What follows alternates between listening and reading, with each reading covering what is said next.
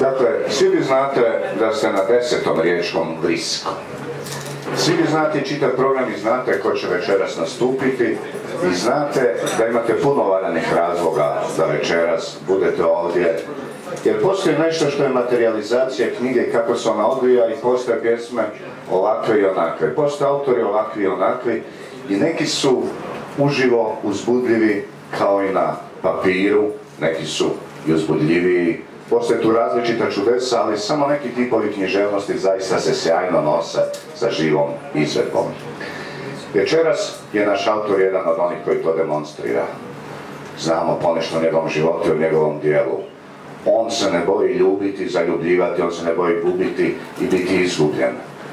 On je pomalo i avanturist, velik je to životopis buran.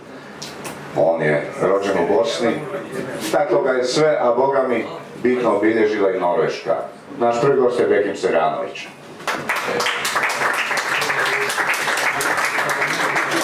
Hvala, hvala, e, dobro večer i hvala vam svima što ste tu. Ovo je ovako bilo malo, pomalo neplanirano iznenađenje koje sam, da budem iskren, sam sebi zapaprio. No dobro. Ovaj, znači, Marko je Tomaš već nekoliko puta predstavljao moje knjige, pa je red da i ja bar jedan put predstavim jednu njegovu knjigu. Ili ne znam više njegovih knjiga, on će vam večeras čitati, juče je čitao sat i 15 minuta, danas će sat i po rekao ovaj, njegova ovako, da ne bi sad ispao da ja promoviram svoju vlastitu knjigu. E, prilikom promocije ove knjige u Zagrebu, mene je iznenadio Zoran Ferić rekavši da je taj, to jedno poglavlje o pjesnicima njemu bilo najuspjelije. E, a ja sam se plašio da će biti da je najlošije jer nekako pjesmama najteže pisati, barem ne. No, eto, napisao sam ponešto i o Marku i to sam lijepo sročio, možda bi najljepše bilo da ja to Malki se pročitamo, a Malki se prepriča. Dakle,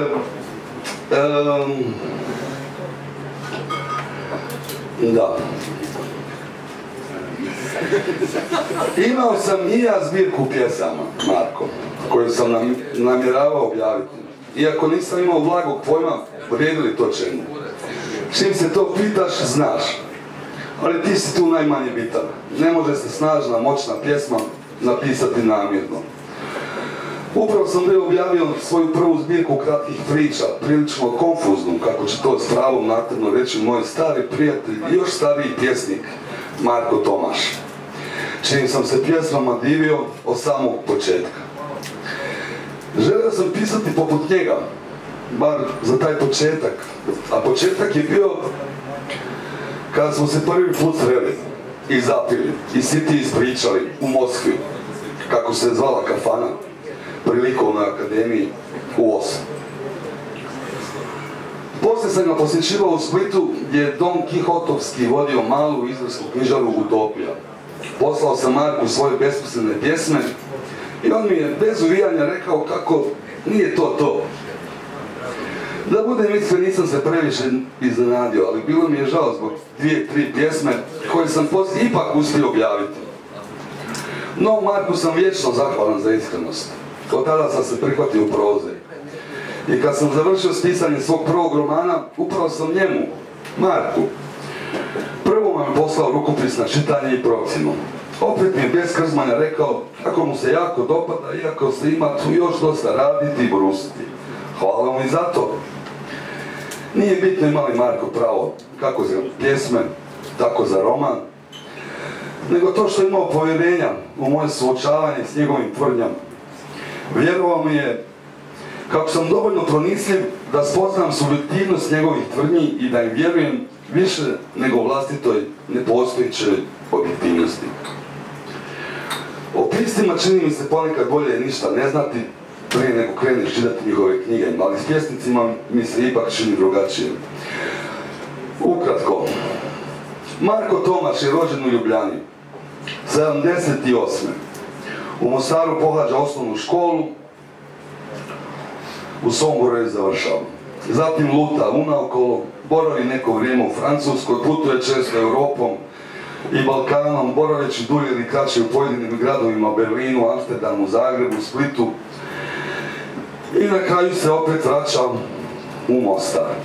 Ispisujući cijelo to vrijeme stranice i stranice potresne, bijesne poezije u koje ulaže cijelog sebe, sve, sve što ima, pa još duplo poput kockara koji se kocka s žavlom i još ga drsko blefira. Marko Tomaš, od Marka Tomaša prvo što sam zapamtio je, je bio naslov Mama ja sam uspješan. Smatrao sam ga svojim. Smatrao sam svojim i, i život je šala i zbogom fašista i Buleva revolucije i Crni molitvenik i ovu posljednju knjigu Regatu papirnatih brodova ili jahti ili pedalina. Ali ono što mi najviše ostalo u sjećanu i po čemu ću ja pamtiti Markovu poeziju je jedna pjesma koju se ja sad ne mogu sjetiti kako ide, ali znam jedan stih. Život treba provesti kao skitica. I to je to. A u ovoj knjizi sam naveo, pošto pjesme ne treba prepričavati, pjesmu nihilistička, kako Marko, nihilistička, pa hoćeš nam doći da je pročitaš. Pa recimo... To je kao najavu. Da.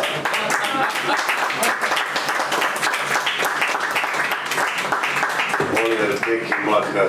Draga Rijeko, Marko Tomaš. Sad Evo Beki me hvala ti, ono, da nas je, da nije ovoliko ljudi ovdje, mogli smo zaplakati jedan drugom na ramenu. Jao, a ja ću vjerojatno sutra onaj ispričati anegdotu, anegdotu ovaj, kad sam, kad sam dobio taj tvoj, kad si mi dao rukopis romana čitati, pa ću sutra dođite pa ću vam ispričati. Onaj, I tražite broj telefona pa me nazovite pa ću vam ispričati. Tjeraju me da čitam već dva dana. I to vlastite pjesme. Zločin protiv čovječnosti. Onaj, šta smo rekli, nihilistička molitva. Je tako lijepo najavljeno.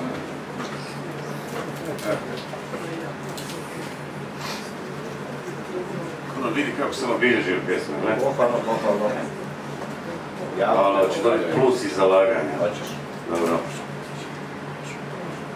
Nema pobjednika, samo se poraženi smjenjuju, nema utjehe, neutješni traže način da se osjete neutješnima, nema slobode, postoje samo različiti oblici ropstva i nema ljubavi, samo kanibalizam, ne postoji istina, postoji samo onaj koji izgovara laž, ne postoji dobar čovjek, postoji onaj koji nije imao priliku da ubije i tlači, Bog također ne postoji, postoji pijanstvo, postoji droga, postoji seks, postoje zaklane životinje u rasadnim vitrinama, postoje gradovi koji ne mijenjaju imena iako ih mi više ne poznajemo, postoji život koji ne znamo živjeti, postoje obećanja, želje, čežnje, zakletve, postoji tuga koja nas tjera na sve to, na grobljima postoje klasne podjele, samo različiti oblici užasa.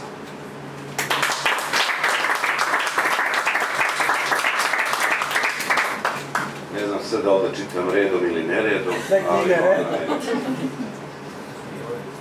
Evo biti ovaj, krenut ću, 45 minuta. rekli smo 75 minuta, ovo može Ti, snimati Anke, tvoja 10 minuta, ja 5. Još 59. 59 minuta, molim ti je Spremite se, 10. spremite se, spremite riječani. Zemička je 10.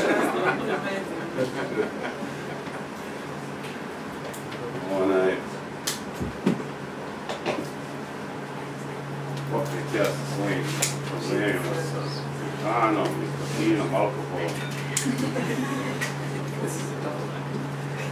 58. Evo pjesma koja se zove Volim. Ponovno se otvaramo u večer napušteno od prijatelja, oblaci kao ključevi sobe u kojoj ležiš čekajući kišu, sentimentalni miris zemlje, ulica koje poput razjapljene čeljusti Boga žele usisati sva tvoja tijela u zahrđali satni mehanizam iz kojeg se nikada ne izlazi. Umirujem sve ono divlje kako bih ti služio grimizna noći, učim se šutiti, biti miran, slan, ljubazan, odmjeren, jer treba umrijeti svet, bez poveza na očima, nježan, kao tišina koju obrastaju kupine. Želim da sve što piše zvuči kao molitva, blagost, topao vjetar. Moje oči su hram mraka i tijelo, krug smrti, sve manje vode, jedino krvlju se možemo zavjetovati jer opsjednut sam krilima, životom ruže u susjedovoj bašti, bombom u tržnom centru. Između nevidljivih zvijezda kruže riječi koje ne mogu dohvatiti ako se propne na prste, rujanje i trebali bismo otići daleko odavde. Mora se, kad tad sastanu, snovi od znoja, život na tripu, sve je uvijek tu, volite, jer zajedno živimo kao progonjene zvijeri.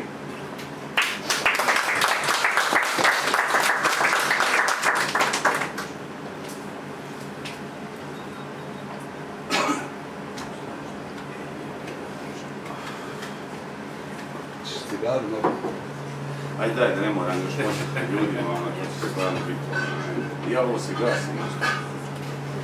Hvala. Ništa. Ništa nisam.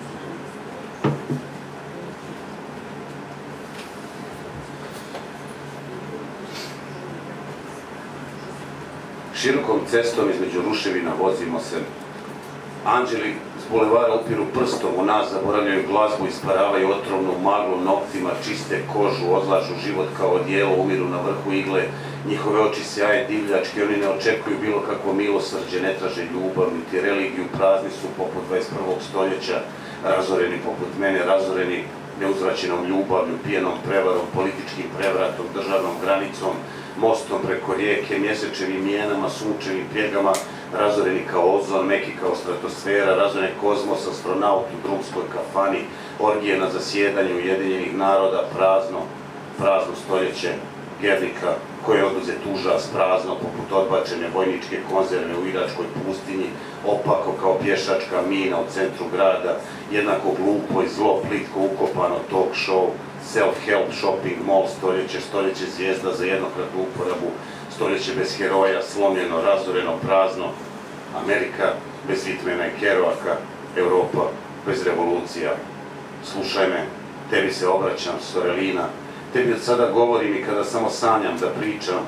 Oktobarske noći su hladne kao pivu u našim rukama, kao gram spida razvučenu cestu preko korica tajlandske kuharice, a tvoja kosa je i dalje žuta, polja maslačka i ja, poput mačke, imam devet života i samo ovako stoljeće da ih potrošim, s ovim tijelom neotpornim na putovanja, malboro, kašljem i očima ludim poput korova, čujem svećenika koji propovjeda kupnju božanske milosti, čujem generale koji pozivaju na eksperimentalno korištenje droga, posuda, čujem ubojice, žamor, kao na burzi, tržnici robljem, milijun odlučnih glasova i mi u sred ljudske pravde, sneni poput sitih zvijeri, kao otok, draga, kao otok.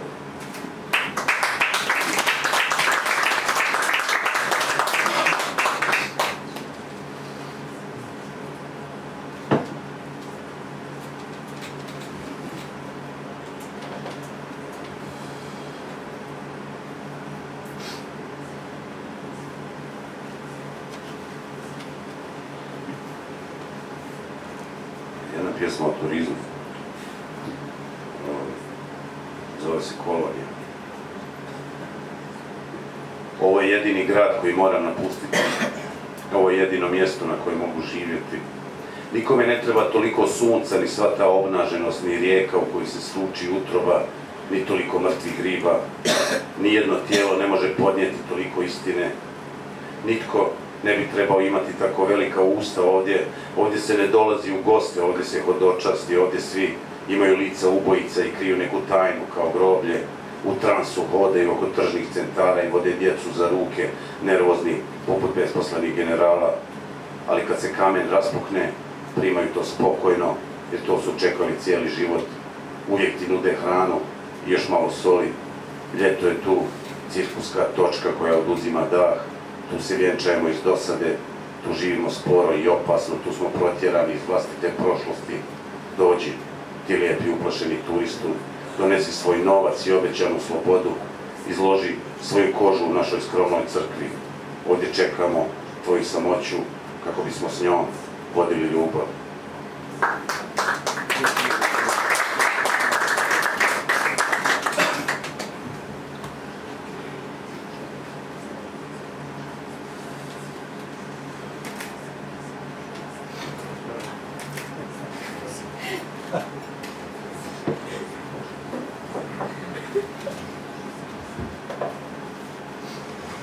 Dan neovisnosti.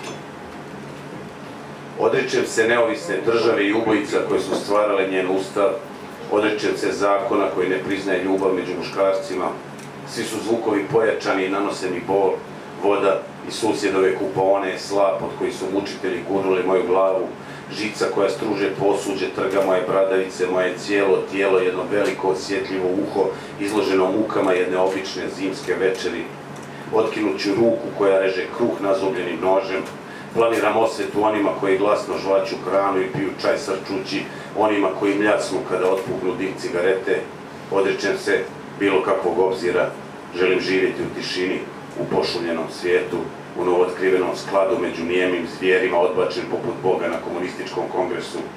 Želim pravednu kaznu, ja patim, jer buka raste kao saudijski neboder, jer čujem pljuvačku kako se valja među vilicama, jer pokušavam ozdraviti, umiti svoje lice, odnijeti ga u novi dan.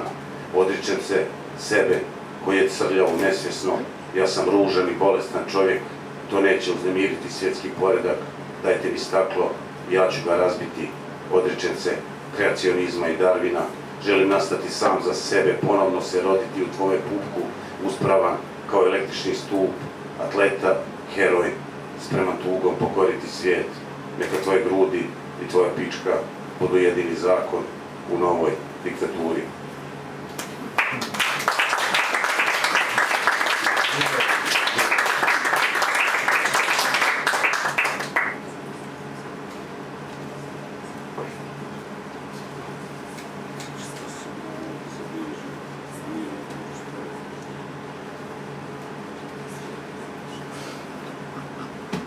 Učitelj mi šapće pjesmu.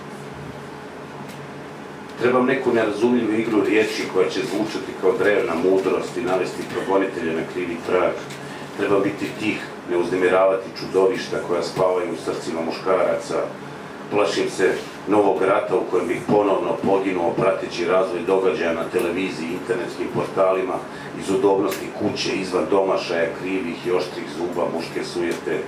Kad bi se ratovi vodili zbog tvoje ljepote, ja bih pobjegao u drugačije umiranje, izmišljajući za sebe neku novu sudbinu, kako bih ponovno bio upetljan u život svijeća i neke luđe zavjere protiv ljudske pravde. Moj život s tobom bit će upamćen kao moje jedino remek djelo.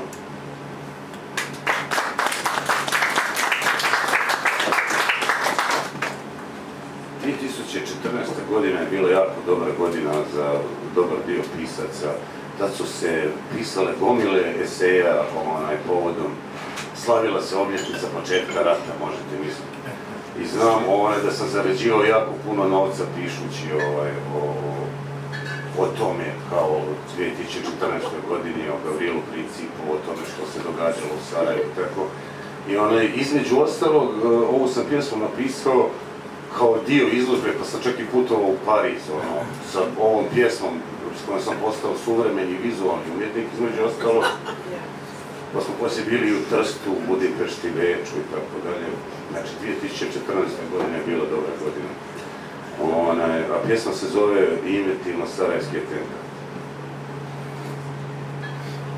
Ne znam da li sam ja sanjao nju ili ona sanjala mene ili sam tek sanjao da sam živ noseći po svijetu oči luđe od crne oluje koja natkrovi grad pa na njega obruši tišinu.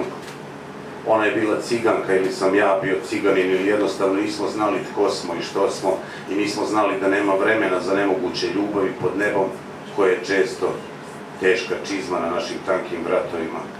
Čitavih stotinu godina te volim, a ne mogu čitati tvoju sudbinu, rekla je. Ali mogu je promijeniti ako se skinemo goli, izađemo na kišu i stvorimo glazbu i ples od kojih će smrt poludjeti.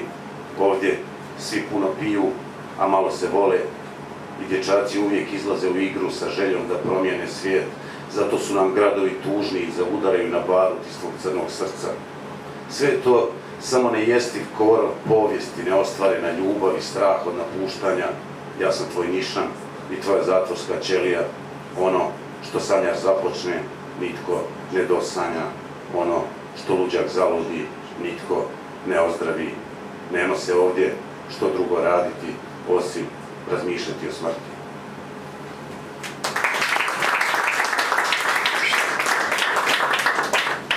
Može jedno pitanje, taj nišan je nagrobni spomenik ili baš nišan? A, i, jedno i drugo. Dobro si to, onaj, mislim, malo ljudi upuća da je to i nišan kao nadgrobni spomenik i onaj, nišan na, na cijevi puške, ja. Dođite na isto. Pa dođete mi na isto, da. Ishod je isti, reklo bi se, da. Aha, sad imam ovo, kada veze jedno. Paljač, rekao se glas. Ne vodite desnom rukom paljače iz lijevog džepa. To je moje. A i ostaje mi cigareta. Nije pa moj, ja ga iz Mostara Bio s tobom u Parizu? Mogu već tri dana. Tek smo se jučer sreli. Jutro, da.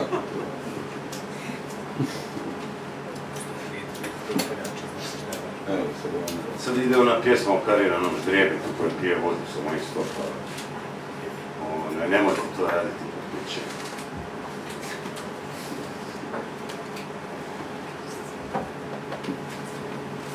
Karirano ždrijebe pije vodu s mojih stopala i to je usko povezano s nesanicom koja me muči mjesecima. 2016. je godina umiru pop ikone i demokracija. To da je Bog mrtav, odavno je opće mjesto. Častimo se vinom, nema nikoga na našem sprovodu, nikome se ne dopadaju naše nove inkarnacije. Još uvijek svijet zna sasvim malo o slobodi i ljubavi, svi se bave politikom ili tešu tijelo. Ne znamo se smijeti uvjerenjima, umiremo daleko od vlastite kuće, mi ne znamo putovati drugačije, mi ne možemo zaspati pod ovakvim nebom. Previše ptica, previše zvijezda, previše je jedan mjesec, previše dimnjaka na horizontu, previše zlokobne tutnjave u daljini, previše smo sami, previše pokušavamo, treniramo, dajemo sve od sebe, previše smo nedovoljni. Mogu nam pomoći odvjetnici ili svećenik, ali nemamo novca za svećenika i nemamo vjere u pravo. Trebali bismo se razići u tišini, još uvijek ne naučeni, svatko svojoj nadgrobnoj ploči, smisliti epitaf i pljunuti na susjedni grob.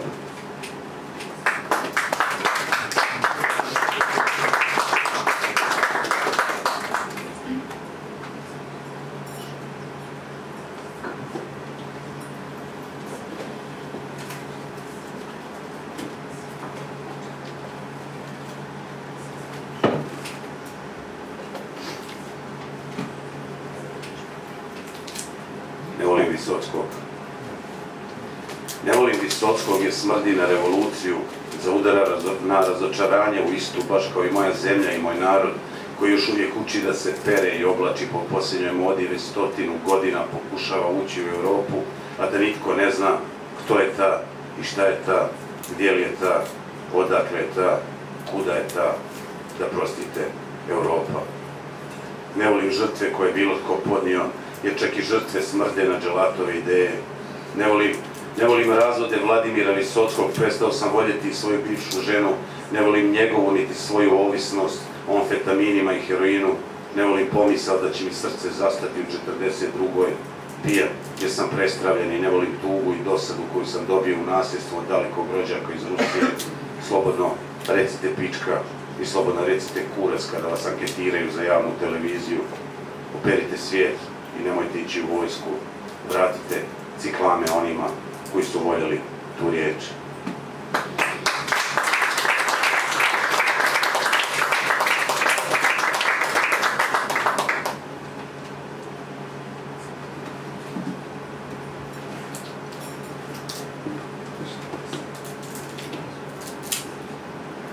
Ako ikada upoznate ljude koji su autori ovih fotografija, pozdraviti ih.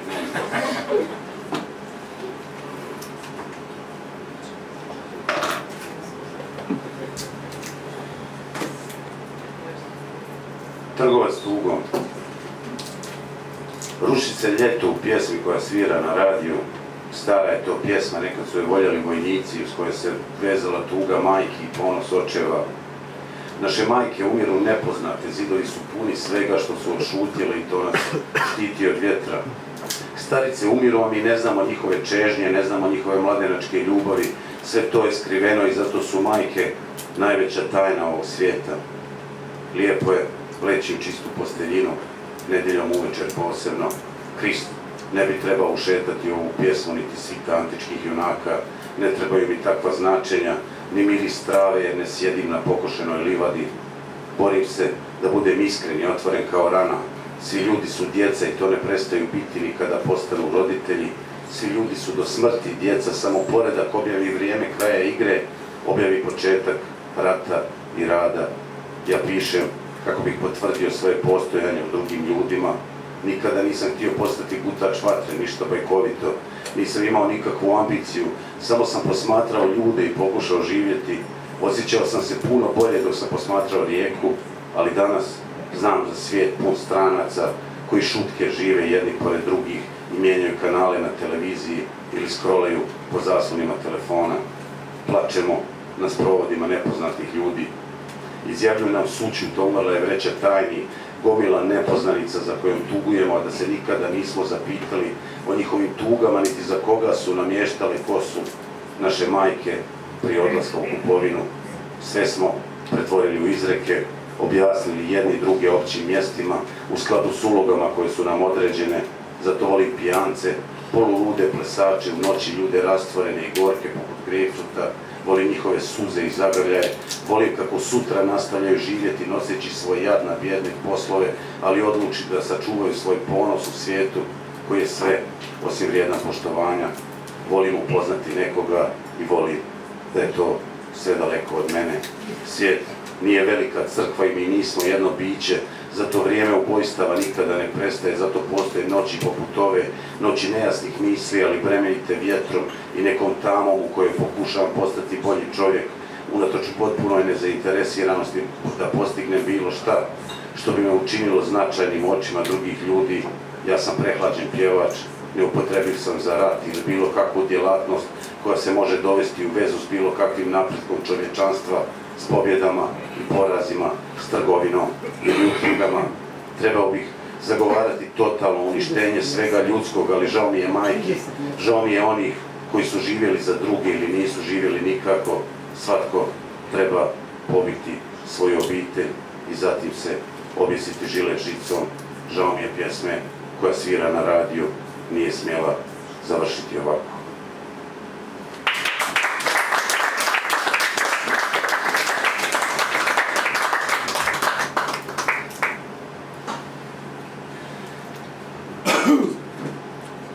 Točno fali jedna. Ne? Točno fali jedna. Da, da, da.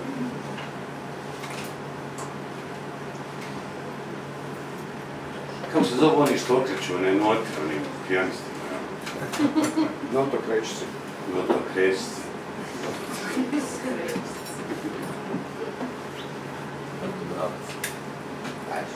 Regata papirnih brodova. Aj šute vas, dvoj se popite. Uzmite sobu, ono, negdje, ono, kupite kondone i razbušite. Zašto pa to? Pa ja znam, ne očivkati. Mi smo čisti. Umreću na moru, među milijunima raznobojnih papirnih brodova sa drugom djecom, umriću ja. Želim da me svijet zapamti kao onoga tko je bio lud za tvojim nogama čudaka koji je učio nositi šešir kada to nije bilo u modi i skupljao novac za trodjelno odijelo, ne bi li svojom elegancijom parirao tvoje mladosti. Želim da ostane zapisano da sam bio ozbiljan duševni bolesnik, da sam planirao naše vjenčanje, da sam silazio s uma svaki put kada bih vidio tvoje gole grudi. Želim da se zna kako sam krišom učio plesati, kako sam ostavljao alkohol, kako sam gradio kuću, kako sam se ponašao poput cirkuskog majmuna, ne bih li nasmijao tvoje oči. Staromodan sam, bliži mi se 40 i bojim se, više ništa ne mogu naučiti. Odustao sam od samoubojstva i želim biti bolji muškarac dok god traje naša regata papirnih brodova.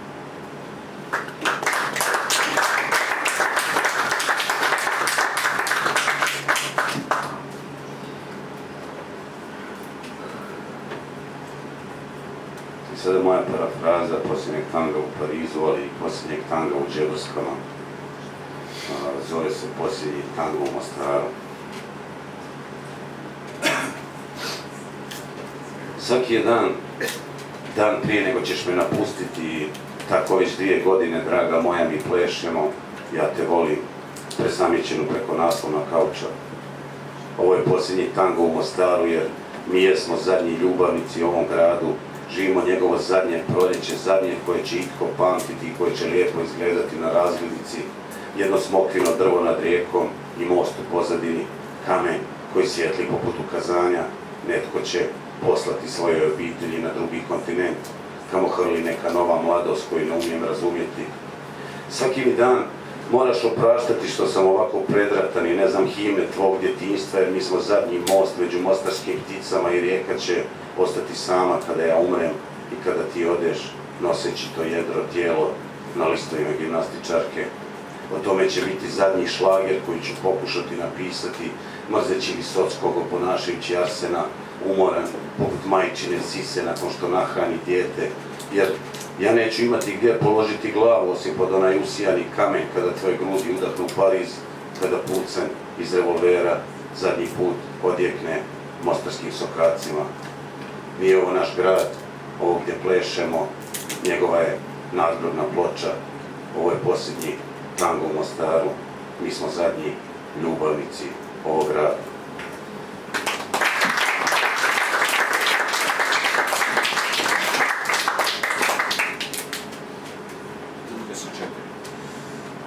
Koliko ima tih minuta još? Točno toliko, Viš, čovjek 34. pogodio je. Inače se kući da dobro mjeri vrijeme i korak. Puno mjeri, mjera. Nevjerojatno. Neko mora voditi računa. Ja sad zaboravim, koliko kraja? 300 i Točno. Ajde, taman za još 78 pjesma. A ovo su kratki haiku. Hercegovački haiku. Vojnička je 9,5 minuta. Poznata forma, ne znam, vi niste niko čuli za nju.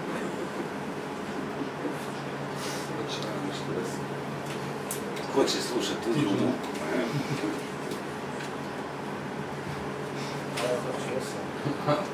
Evo sad ću.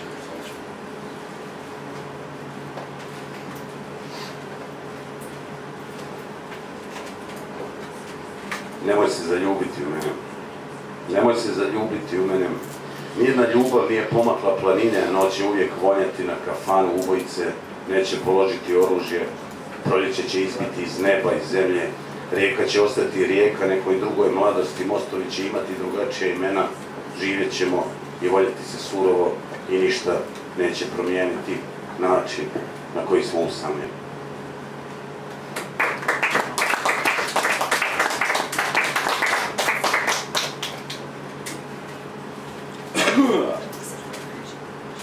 Krleža ovo nikad nije radio. Onaj, ju, jučer mi je u Zagrebu pala smiješna scena onaj, na pamet. Krleža sjedi sad, treba čitati pred ljudima, a Kruno Lokotar mu naređuje kako to da radi. Onaj, to je, pa mislim, Kako bi bilo? ali Krleža nikad nije ovo radio. To se dobro. Da. Krleža recimo nikada nije probao heroin, to me oslobađa dužnosti da ga slijedi. Pomorcu ću poderati jedra i pokvariti motor ljubavnicima, podmetnuti pornografiju pticama, kavez ukrasiti cvijećem, izdaću Krista i lutati pustinjom, tamo ću otrovati škorpiona. Ali ova strašna srednjoevropska noć koja miriše na nacizam i prisluškuje pristojan svijet, čini me nemirnim. Krleža je imao svoje budale i svoj konjak, samoubojstvo je malo kompliciranije nego što religija predviđa. Trebao bih skladati koračnice, to već ima nekakvu uporabnu vrijednost, ali ja ne znam ništa o teoriji kompozicije, padam na svakom testu karaktera, slab sam, svatko bi me mogao uništiti, a želim izazvati opću sablazan. Zima je i nigdje se ne njiše zadružno žito, osim u knjigama ruskih pisaca.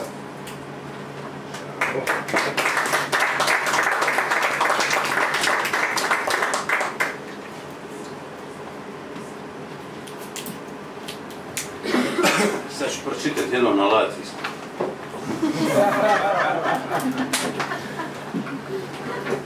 Kampf. Neki me nismo ogadili metali. Ono, pankeri protiv metala. Na krivac.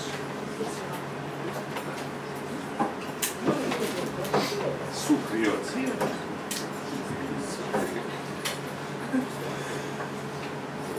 Rasplakana pjesma.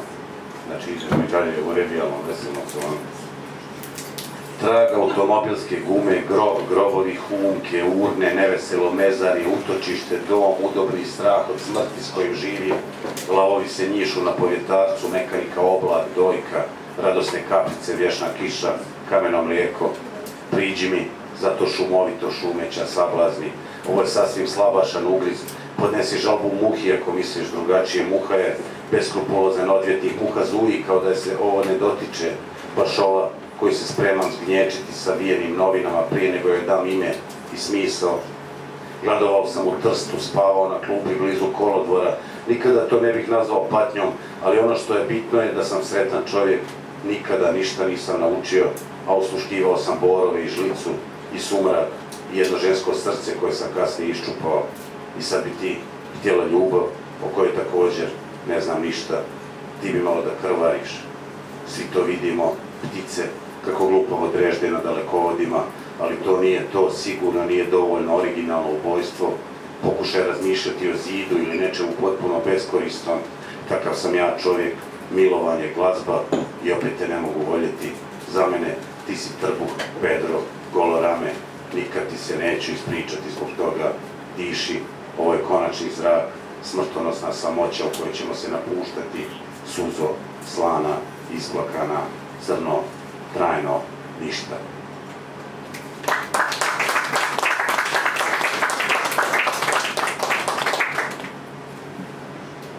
Što mi se ustaše suše. Ustaše šta? Ustaše se suše. Na povjetarcu.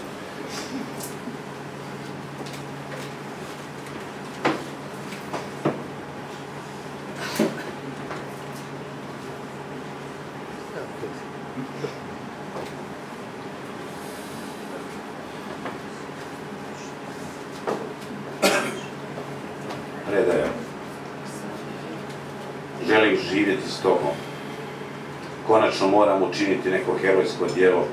Trebam prigrliti svjetlo koje nosiš u dlanovima, vratiti se svetosti koju nikada nisam do kraja posjedovao niti razumio. Ja sam obiteljski čovjek koji oslobađa vlastiti život triumfalno ulazeći u neki daleki grad, vozeći se na tenku na bojele čežnje. Dopustit ću da izabereš boju zavjesa u stanu koji ćemo dijeliti kako bih dokazao velikodušnost. Vjenčat ću svoju nedisciplinu za tvoje obećanja, podignut ću kragnu i pristati na Pariz, naučit ću tvoj jezik, prostat ću proćelavi monsije sa teškim slavenskim naglaskom koji zaudara na nostalgiju za rakijom. Možemo jesti vani kad god nam zasmetaju naša neraspremljena srca. Možemo ignorirati kišu i satima šetati bez kišobrana. Pazit ću da ne propustimo nijedan romantični klišej. Arogantan poput naciste proći ću ispod slavoluka.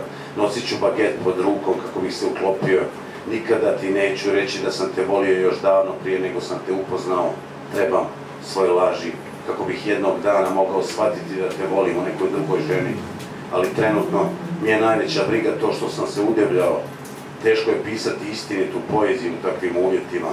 Ovo mi sigurno neće pomoći u nastojanju da ne ispadnem komičan ili barem da napišem pjesmu pokušavajući oponašati tvoju ljepotu.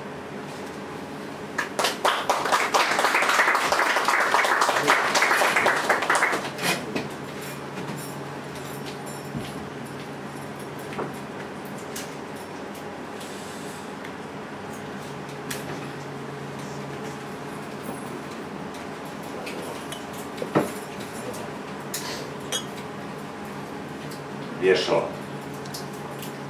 Nije ovo nikakav kraj, samo otvaranje krajolika neminovnosti. Nijedna pjesma nije koristan izum, ništa vrijedno, rata i smrti. Treba pisati o kiši onako kako ona pada, to je jedino pošteno. Treba pisati o poljubcu onako kako se usne primiču. Kada napišem ljubav, hoću da svatko zna što to znači. Ja sam noć u noći, nutrina u nutrini, maskiran, neotkriven, odvratan poput heroinske mučine, nisam lud, ja jesam ludilo, ključan kao sunce, zarastan kao džumbir, ubit ću Anu, ubit ću je zato što je lijepa. Treba mrziti cvijeće i livadu, prezreti nebo, rijeku i more. Život je nemoguć, ljudi su jadni, riječi se propinju kao uplašen konj. Hoću da mrzim svoju poeziju, hoću da mrzim mjesto na koje me dovela njezina ozdvojena ruka. Hoću da je uhvatim za sisu, istrpim šamar. Poezija je bolest i smrdi kao mokar pas. Ovo je toliko jadno da nije čak ni pornografija.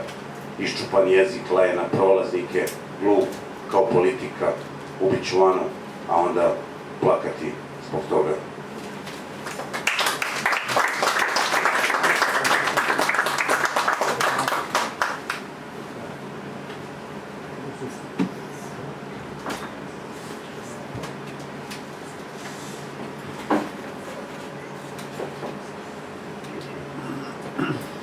Hajde da usporimo mitologije.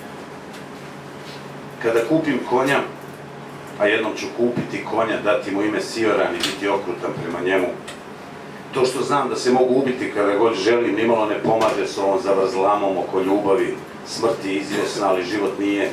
Zato ne tražim da me voliš cijeli život. Dovoljno je da izguramo dan koji neće završiti krivnjom. Nema sretne sudbine. Muškarca tvojih snova stvorile su druge žene. Očelavio je na njihovim pedrima. Krila mu također nisu izrasla ali ne trebaš brinuti da će pristati na bilo kakav rat. Tako je to s beskrilim anđelima. Mogu te promatrati dugo i tužno, smišljati načine kako da te odvuku u krevet, klopirati se u Luna parku, biti najnestašniji od sve djece i satima pričati o putovanju vlakom na koje nikada neće krenuti. Pravi muškarci pak žele voditi države, poslati nečiju djecu u rat, baviti se humanim preseljenjem i zaslužiti Nobela za mir tako je to sa pravim muškarcima. Ja, s druge strane, ne mogu živjeti bez misli o tvom tijelu. Imam takva zakržljala krila, ovo je duhovna potraga, ne sudjelujem čak ni u ratu jezikoslovaca i nikada nisam naučio nositi šešir.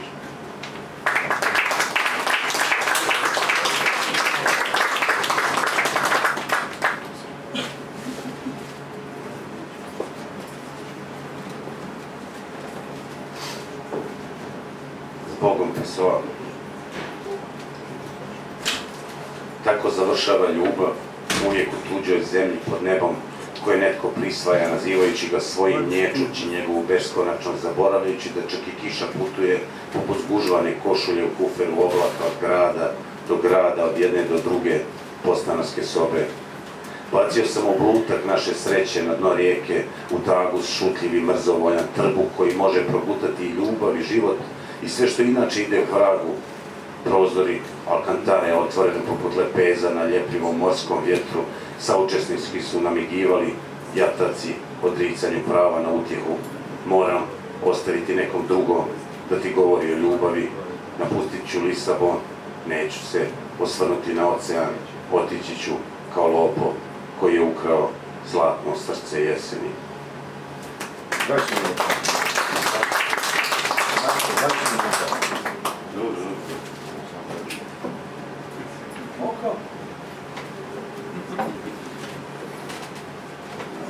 previše.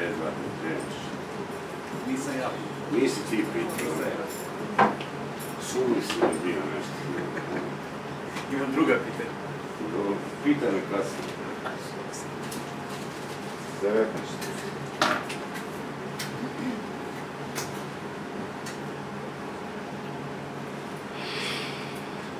Mogu ja još jedno pivo dobiti ovo je točno. Čini mi se da je svjetlo. Najsvjetlije koji ima.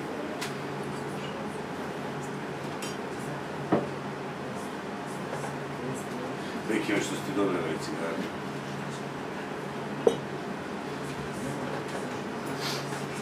Ako Valjda sam ja iz Mostrara donio, nemoj me gnjaviti.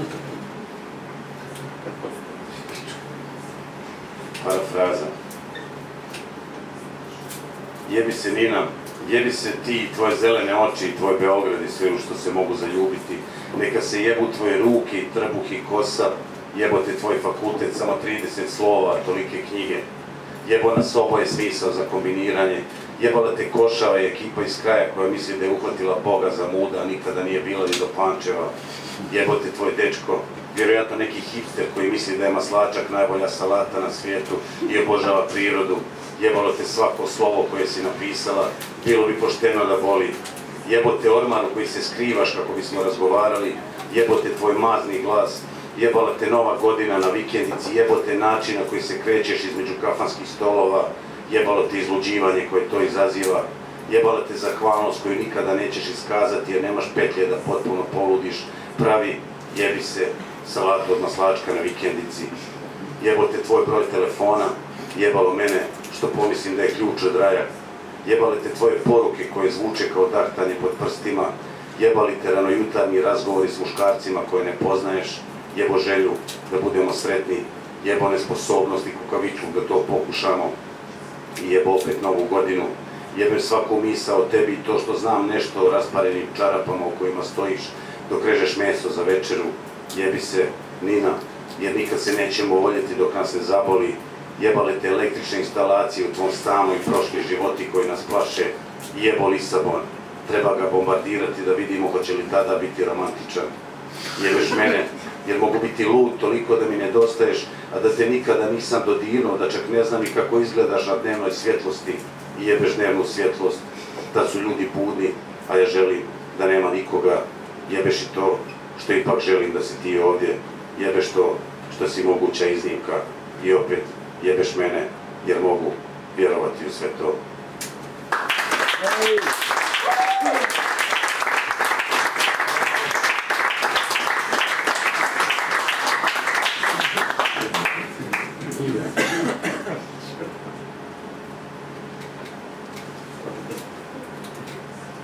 Malo je stvarno na stadionu Kantrida, uvjeti nisu idealni za igru, ali onaj,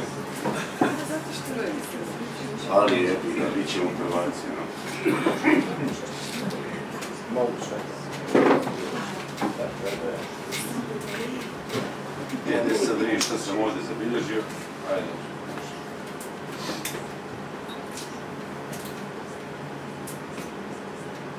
Mali čovjek u malom gradu. Mali ljudi u malim gradovima opsjednuti su vlastitom veličinom. Upravo tako i ja malim riječima tražim pravo mjesto kako bih ozvučio svoj zavičaj, a potraga za zavičajem kad će me usmrtiti. Tom Waits je neprijateljski raspoložen prema mom nastojanju da pišem poput američkih pjesnika. Za malu povijest dovoljne su male riječi koje se mogu mimoići na uskoj cesti. Osim toga, ne mogu se riješiti teškog slavenskog naglaska. U malom gradu sve je prigušeno. Recimo, ulična svjetla nisu nikako dovoljna da osvjetle romanesknu cjelinu, pod njih jedva može stati posvađan mladi par ili lipa na koju sam alergičan i zbog koje bi proljeće u malom gradu izrazito ide na živce. Volio bih, poput malih ljudi u velikim gradovima, gledati svoja posla, ali previše sam krvoločan, malih parkovi mog grada, sasvim su mala groblja i to svima otavljavamo nos, jer goleme su ratne zasluge nas malih ljudi, nitko nas ne želi za neprijatelje. Mi smo mali ljudi, mi smo ne baš sasvim ispunjeni ljudi, ali ništa nas ne može svesti na pravu mjeru malih ljudi iz malog grada. Naša bahatost, naša oholost, naša ohohohohost porazit će svaku pristojnu riječ. Mi smo mali ljudi, mi smo bahati ljudi, mi smo ne baš sasvim ispunjeni ljudi, koračamo pustom zemljom.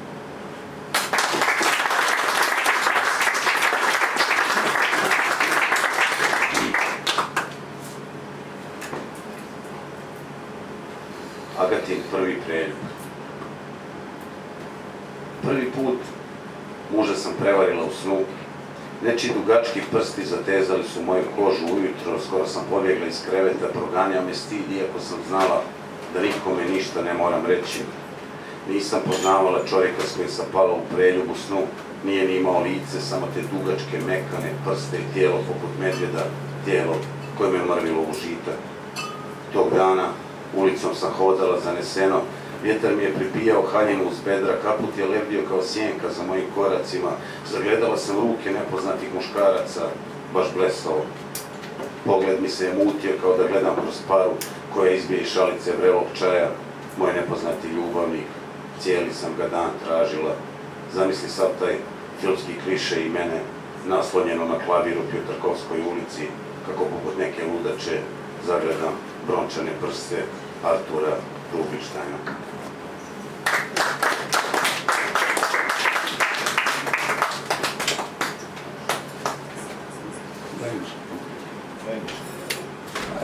Argentino pismo. I to je to. Dobro, izvini trener, ali nisam bio budan. ovaj. Koliko još ima? Ti ne znaš kako u mom gradu pada kiša, kako sitno ubadaju kapi u kožu samoće koju noćima uzgajam hraneći glazbom i apsolutnim odsustvom bilo kakve misli. Ti ne znaš kako mokro zvone napušteni pločnici, svjetla igraju pa padnu, nema ih kako podići fasade, prozori, iza njih lutkarski spektakl, muškarci i žene glume ljubav ili odustaju, ali nitko ne odlazi nikuda i ništa se ne rješava, vlak prolazi i cijela se zgrada zatrese, ali nema ničeg konačnog, strop nije pao, nismo smrskani, život ide dalje, samoća, nema olakšanja i kiša nastavlja mučiteljsku misiju. Tužan je lođi u kišnoj noći, ljubav jadna s ovakvim ljubavnicima. Jedino daljina ima pravo na čežnju. Moj muž spava ispod novina, jutarnje izdanje, bajate vijesti, ništa ga ne može omesti, niti Rahmaninov klavirski koncert broj 2, iako pred njega stanem potpuno gola i otpuhnem dim cigarete ravno u njegovo lice.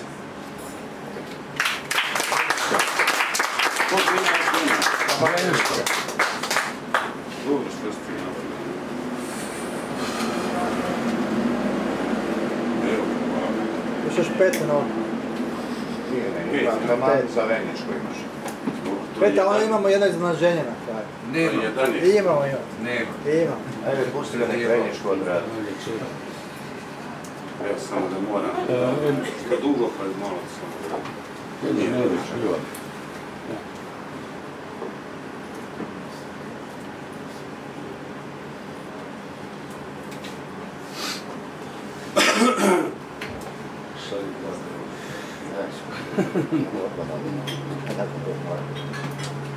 Evo pismo Venjički.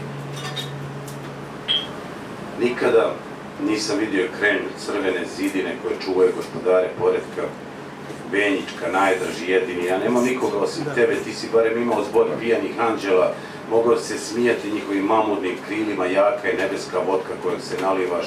Nestalo je radničke klase, kavlopolagača, turisti hrle vlakom kroz Sibir, čak i Amerikanci dive se nebu Vladivostoka, a ne zna stoka kako je biti rođen blizu polarnog kruga u Savezu Sovjetskih socijalističkih republika.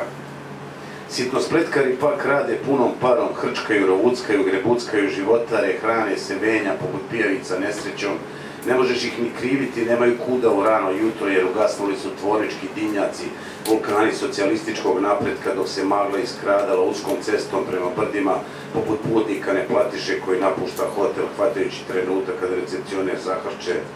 Ružan je naš čovjek, zloban, sitnog, podbo od rakije i mesa, slinave obraze jednim drugima, plaču si na ramenima, bratime se, a već idućeg trena guraju si razbijene boce pod grkljem, nisu ni nalik brončanim kolosima kakve su komunisti izljevali htijući obodriti njihov radni polet. Sitan je i kukava naš čovjek, zavidan, nema budućnost, plije prošlost, sav je obuđavio sadašnjost, je sadašnjost kurva, traje li traje, naprosto u pljesnivi čovjeka. I eto ga, ovo razdoblje između dva rata, to najnemirnije vrijeme u životu mog naroda. Pošalji venja, anđele, barem jednu kaplicu, srebrkaste nebeske vodkice, gramčić jedan, venjička. Nije ovo venja da prostiš Rusija, Ovo je Bosna i Hercegovina, zemlja neodlučnih i poraženih. Ovdje postoji gomila palegastih alibija da ne poduzmeš baš ništa. Nijedan rat nikada nije završio, samo razgođen za drugu priliku, a došlo je, samom kraju je došlo, od uši se radi, od crnilu ispod noktiju. Bosanci i Hercegovci mi idu na jetra, sve to go, propao Jugoslaven, stoka koja predugo bulji u mjesec, rekao bi Bukovski, sloboda jednih je zatvor drugima i tako stoljećima u krug, ubice jednih su heroji drugima i tako stoljećima venja, a ja bez kapi već danima jer neću kao svinja da plačem na ulici, jer što će mi reći mater, jedna majka kad čuje šuškanja, brbljuckanja, jer nema goreg nego biti pijan među alkoholičarima. A treba mi gramčić jedan za sutra, za još jedno pišljivo jutro, osjetljiv sam, teško podnosim sve te kosti koje zatrpavaju centralne informativne emisije, a ima istinski gladnih, prosto da se sažali starih venja, poniženih, oduzetog dostojanstva je rat, uzima žrtve i u mirnodopskim vremenima, a danas se plaća u dostojanstvu i ljudskosti.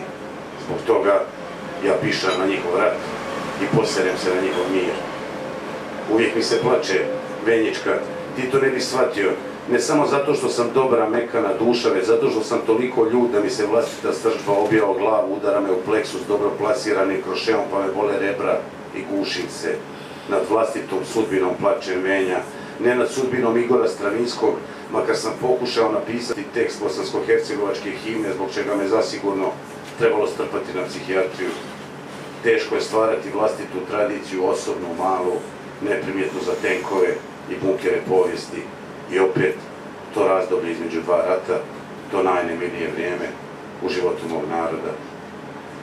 Može zvučati banalno, ali povraća mi se od zastava, riga mi se od anarhista, od komunista dobijem svrab oko jaja, od patriotizma i nacionalista dobijem osip po licu, odeblja mi jezik, čim vidim gomilu ponosnih morona pod bilo kakvom zastavom, aktiviste, umjetnike, infrastrukturaliste, tikvane, zaluđene frenologijom, koji su spremni da ubiju i umru, padam u anafilaktički šok, ali od toga me izlječe adrenalinskom injekcijom, materim spomenem u nepristojnom kontekstu. Umrijeću ja, Venja, doći će dan, ali neću shvatiti tu stoku. U ostalom, uzimam si za pravo da budem banalan i patetičan, isto kao što imam pravo da se napijem kao kinaski, da isprevrćem namještaj po stanu i povratim u sudoper.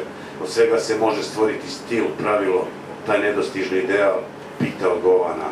Hajde, pošalji Venja anđele, parim jednu kapljicu, srebrnkaste nebeske vodkice, gramčić jedan, Venjička, kišicu, Benedikte iz vodkonosnog oblaka. Mog su Dajđu masakrirali u ratu, vezali ga žicom i živog zapalili. Ljudi tvrde da je bio heroj. Meni je bio heroj prije pogibije. Volio bi da je to i ostao samo moj heroj, da je izbrisao u Ameriku. Sad bismo sjedili pored Karverovog potoka i pecali losose. I zato serem se na Srpi Čekić, na kubikašku lopatu, na bolju prošlost, prebacujem normu za ujedinjenu Europu, za mir te slobode, zbog napuštenih riječnih plaža, zbog sušenih ulica, zbog mirnodopskih žrtava, zbog mrtvih heroja koji se nisu borili za njihovu stvar, zbog djece koja su ostala bez svojih junaka, zbog svakog čovjeka koji su pudakom istjerali preko praga, zbog stadiona koji zaudaraju atmosferom logora, zbog toga što mi je pokvaren stomak venja, a nemam čak ni kaplicu, niti plan kako stići do Kremlja. Znaš ti, Venja, da sam ja dalmatinac, od soli burovit i Srbe da sam Venja, Bosančina, Slovenačka, pravi kameni Hercegovac, Jugoslavenčina što se kupa samo subotom prije dnevnika, prdi pod jorganom i ne želi naći pristojan posao. Znaš li to, Benedikte? Takav sam da se obraćam jednom Rusu koji je pritom odavno umro zato što imam pjesničko srče koji trebam nebeske vodkice kako bih podnosio sam sebe, a osim toga kronični sam pušača i saker, luzer, dimim li ga dimim, ali neću pristati venja, ne ja, previše sam tužan i ljud da bi stao uz njih. Gulag je globalni sustav, svi sudjeluju, jedni osnuju, drugi prokazuju, treći robijaju. Ja neću stati uz osnivače i cinkere, ja sam genetski robijaš, gulim svoje vrijeme u mediteranskom gulagu, zaboravljenom što se kaže i od Boga i od naroda. Tu su ljeta, surovija od zime, koja je zaustavila Napoleonovu vojsku, a lomi me Venjička, lomi me ova gadost, neljudskost, iako shvatam da nema nedužnih, pa sam samim tim i ja nešto skrivio. Ne znam ja, Venjička, kako treba živjeti. Ne znam ni kako bi valjalo umrijeti, nisam ni problem, ni rješenje problema, meni ništa nije sveto, nema te zemlje, nema zastave, himne, ideje, ni u šta venja, ja ne vjerujem, ni u ljubav venjička, ona je tek crna i prljava, strašna, velika, konačna kao smrt venja, ni u šta ja ne vjerujem i ništa ja ne znam, osim možda da trebam vodkice i upute kako doći do Kremlja. I eto ga, to razdoblje između dva rata, to najnemirnije vrijeme u životu mog naroda. Moj djed Venja bio je u logoru na jednom kamenu usred mora, otok Mamula, jeo je štakore i noćima sanjao cigaretu dugu 10 metara. Jasno mi je da je jedino bitno da smo poniženi, da nas svedu na to da se hranimo štakorima i sanjamo cigarete i zamisli sve te unesrećene žene u svijetu poniženih ratnika. Rijetko putujem vlakom venja, uopće negdašnji socijalistički pregaoci slabo putuju vlakom, a i kada idem ljuti me što nema vagon restorana, nema pivice, venja, nema unučića, niti bočice industrijskog konjaka, ni onog poštenog sendviča, debelo rezanog kruha i suhog mesa, a i pušenje je zabranjeno svuda, osim u Bosni i Hercegovini, zemlji gdje su lica skužvana poput pezaža u kojem žive. Razumjet ćeš onda što ne znam kako stići do Kremlja.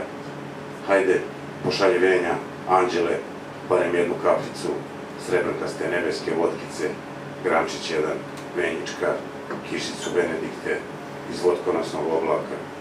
Umrijeću i ja, venja, doći će dan, ali neću shvatiti tu stoku.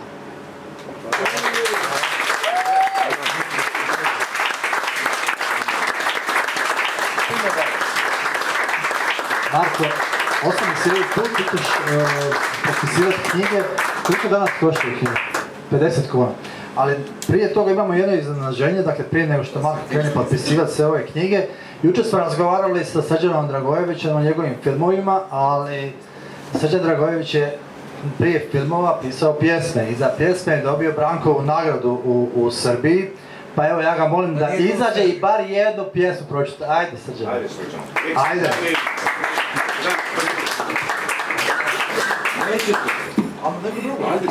Drago je užasan gnjavator, a, a ja nisam dobio nagradu e, Branko u, u Srbiji, nego to je bila nagrada u SFRJ. Ovaj, to je bilo za prvu knjigu poezije, onako, značajan nagrada, ja sam bio vrlo iznenađen. A, biti pesnik a, tada, 86. je isti kurac kao biti pesnik danas. Dobro. Ali zaista je tako. E, Kada sam dobio tu nagradu, e, Udruženje književnika e, je mene poslalo da čitam poeziju po raznim gradovima SFRJ, znači po celoj bivšoj zemlji i sad ti odeš čitaš poeziju i sve očekuješ neke dobre ribe. Očekuješ da si, ne zaista, očekuješ jebi ga da će to neko doći, a moja poezija nije bila ona postmodernistička kao što su bili Al, Aleš Debeljak, uh, Adam Kuslović i to, nego je jebi ga mlad čovek, ja sam pričao... palile na postmodernizmu. Ne, nisu, naprotiv. O, naprotiv, naprotiv. Ovaj, nego jebi ga, bila je vrlo drugačija od tog mainstreama jugoslovenske poezije tada, bila je vrlo komunikativna, ali odeš da čitaš poeziju, ono neke babe tamo jebi ga, ono, sedi i pada joj glava, jebi ga. Znaš znaš, se i babe su nekad bile ribe, jebi ga šta. E, ali bile tamo 40 i druge, treće, jebi ga, znaš, ono. E, tako da, Toga su bila ikra. ali, dobro, dobro, ne, neću tu, neću tu, našao sam nešto drugo.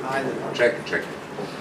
Ovaj, ali evo, drago me je stvarno stavio u neugodnu poziciju. jebi ga. Kad se zadnji Ima neki Kad se zadnji put čitao? 86. 7. U domu kulture, u, u E, Tako Gornjem Niš, Leskovac, ali sam čitao u Splitu, u Domu kulture i u... e, Čitaj. Da, ajde, ajde. Ajde sad. Ovaj bi krleži naređivo, kaže. Ne, ne, ne bi, se- ne bi ja davio, ne bi ja davio. Ovo je pesma koja se zove Nastavi da se smešiš. Napisan, to iz te prve knjige, napisana negde 85. godine, znači ima 30 godina. A, Na svim tim mestima umetnosti, daleko od umetnosti, na svim tim izložbama fotografija sa gomilama dupeta, i čipkanih sisa gde delovi ženskih tela plašljivo cijuču stisnuti u ramove i gde lakirani kratki prsti devojaka zatvaraju svoje izbečene rupe i gde svi oni zajedno zatvaraju one mišje rupe umetnosti slučajno slobodne. Na svim tim mestima uljanih polucija i po sirotinskim porodilištima kulačke poezije. Na svim tim đubrištima uklatih vekova i vašljivim stepama nove kozačke konjice, na svim tim mestima umetnosti, daleko od umetnosti, nasmeši se. Nasmeši se jer tu nema pomoći. Nasmeši se jer kada dođe vreme, razvući će oni već sami tvoje usne u osmeh, razvući će već oni sami tvoje usne tvojoj ledenoj ljubaznoj lešini i plakaće za tobom krajevima dlanova. Sve tvrđave, sve tvrđave pakosti i božanskog gađenja gradio si uzalud. Zato nastavi da se smešiš na svim tim mestima života daleko od života. Nastavi da se smešiš i budi spreman da ti pripadne jedna od onih nasmešenih kurvi. Budi spreman da jednog dana pretovariš utrobu njenim nogama, njenim zubima, njenim zrelim očima, ili ako stvari okrenemo, svaka od njih je od uvek bila spremna da svog, na svog čoveka, na svog budućeg davljenika kravatama i mržnjama i buđavim navikama, one su od uvek bile spremne da, da sve nas, onakve kakvi smo, prihvate raširenih ruku, one će nama napraviti decu i sve uz, uz to što ide i više od toga i zato nastavi da se smešiš na svim tim izložbama, deci i golubovima, po glavnim ulicama, zalutalim ženama u svojim i tuđim krevetima. Nastavi da se smešiš, jer sve to i onako tako brzo prolazi, i oni, i ti, i nemoć, sve to tako brzo prođe, a na svim tim mestima smrti, daleko od smrti, na svim tim mestima neko se već brine da i sobstvene proždrljive crve dočekaš nasmešeno.